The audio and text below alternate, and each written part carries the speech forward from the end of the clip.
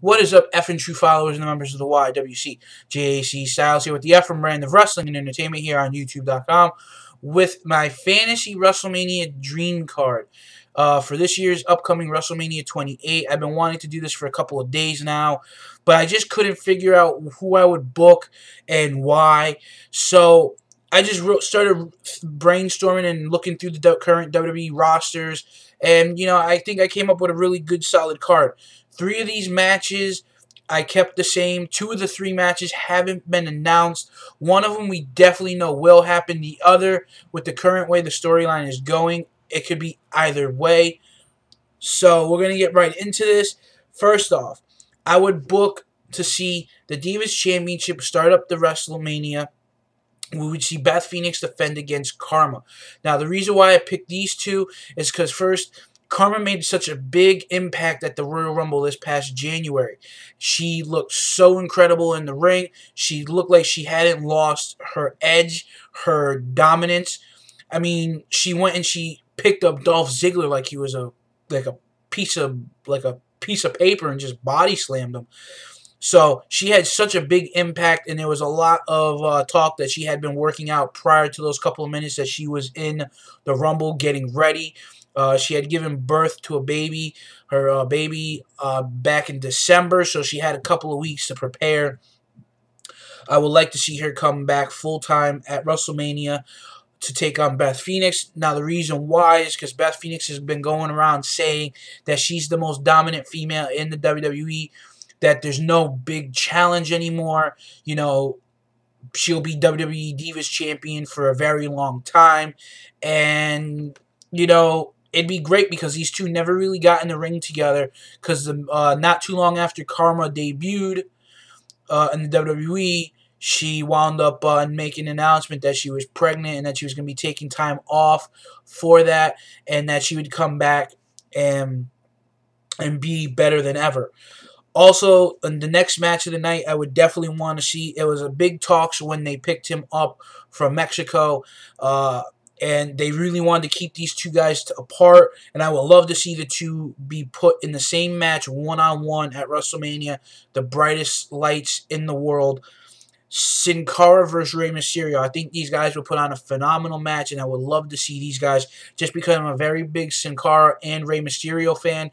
I'm also a big a big fan of the high flying wrestlers as well. So I think these guys, given the opportunity to go out there and wrestle and put on a great show, I think these guys would definitely deliver. Now with WWE uh, canceling Money in the Bank, Will we see a Money in the Bank match at WrestleMania? Who knows? But I put it in on my notes here. And I would see four competitors from Raw and four competitors from SmackDown. From Raw, we would see Kofi Kingston, Dolph Ziggler, R-Truth, and Zack Ryder. And from SmackDown, we would see Cody Rhodes, Christian, Drew McIntyre, and Ted DiBiase. Now, the reason why I picked these eight guys is because WWE has been really using these, utilizing these guys on TV a lot. And I think for a couple of these guys, it would be a very big push for them to win the Money in the Bank. Guys like Cody Rhodes and Dolph Ziggler, Zack Ryder. I mean, R-Truth has been getting a lot of exposure as well. Um, Drew McIntyre has been being used on TV, and I think that with him win, booking him to win the uh, Money in the Bank would do a lot for his career because right now, I mean, he's on like I think like a two month losing streak to Santino, and I would definitely like to see some one of these guys win the Money in the Bank. Also, Ted DiBiase has been on a current little bit of a losing streak, you know, and he just had these guys are really good athletes and are somewhat being misused. So a Money in the Bank win could boost up their career just a little bit. Now, do I see that one of these guys cashing in and holding the title for a very long time?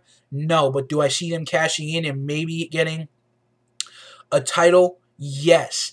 But with the current way WWE is running, you never know. Anyone can be a champion now, which is very good.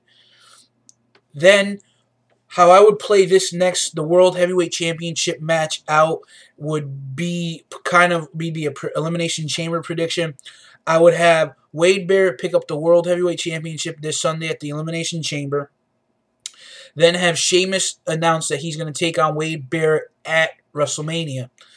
Uh, then have Daniel Bryan cash in his rematch clause at WrestleMania. And then have Orton come out and say that he never got his fair shot at his chance to be in the Elimination Chamber because he got hurt. And they would make a fatal four way match at WrestleMania for the World Heavyweight title. Wade Barrett, Sheamus, Daniel Bryan and Randy Orton. I would that's a match I would definitely love to see. We never really have gotten a chance to see a fatal four. Well, we have at WrestleMania 20. Uh, we've seen triple threat matches uh, a lot in the WrestleMania years, but we've only it's very rare that we would see a fatal four way. Then the next match of the night, I would definitely like to see, but I would definitely like to see for the different reasons than a lot of our our uh, members of the YWC. Undertaker versus Triple H. Now, yes, Tri uh, Undertaker and Triple H have gone on uh, twice at WrestleMania. Uh, we've seen Triple H and Undertaker at WrestleMania 17 we saw them again uh, last year at WrestleMania 7, uh, 27, I'm sorry. And now we're going to see them. We might see them this year at 28 with the current promos that Undertaker has been uh, cutting with the video packaging and everything. So we there may be a chance we may see Triple H, see Triple H Undertaker 3. I would definitely like to see that. But the way I would do it is I would have Triple H pick up the win and basically put The Undertaker down. The next match uh, I would have would be another prediction to have the Raw Elimination Chamber go down like this. Have the Miz pick up the win over every uh, winning the elimination Royal Elimination Chamber match. Then go on to feud with Alberto Del Rio because there's there is a current backstage um, heat between the two. Uh, Alberto Del Rio did a radio interview a couple of days ago saying that how he doesn't like The Miz and how he's come close to wanting to punch The Miz in the face several times. So this would be a perfect WrestleMania match. The feud, the heat is there, especially for the WWE Championship. Alberto Del Rio has been seen backstage this past Monday night on Raw. He is uh, hopefully will be healed up by WrestleMania, and we could see him in the card. And that's how I would utilize The Miz and Alberto Del Rio at WrestleMania. Then we would have the best in the world versus the best in the world at what he does. We would see CM Punk take on Chris Jericho. Now, the reason why I decided not to have these two go at it for the world, the WWE Championship, is because eliminating the WWE Championship out of this equation would give us an, another match, you know. And WWE has always put eight matches on a WrestleMania card. So I would have CM Punk versus Chris Jericho, non uh, not for the WWE Championship. Um, and what I would do is whoever would win this match would one be coined truly the best in the world and the number one contender at uh, Extreme Rules for the following month.